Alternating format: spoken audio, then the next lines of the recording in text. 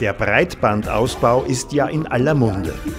Jetzt wurde ein höchst innovatives Verlegeverfahren von Glasfaserkabeln von der Ibstaller Firma Nanotrench perfektioniert. Jan und Alois Pichler präsentierten ihr neues Verfahren den Medien und interessierten Politikern.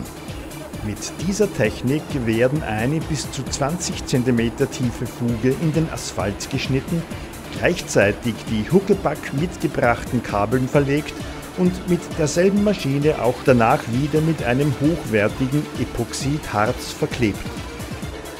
Mit dieser speziellen Stufenschnittmethode ist gewährleistet, dass die Rohre im Asphalt vom Schwerverkehr nicht zerdrückt werden. Tiefe der Fräsung ist ausreichend, auch für spätere Straßensanierungen an der Oberfläche. Mit diesem Verfahren können die Verlegungsarbeiten bis zu zwei Drittel Kosten einsparen. Was übrig bleibt am Ende, ist nur die mittlerweile berühmte Nanospalte.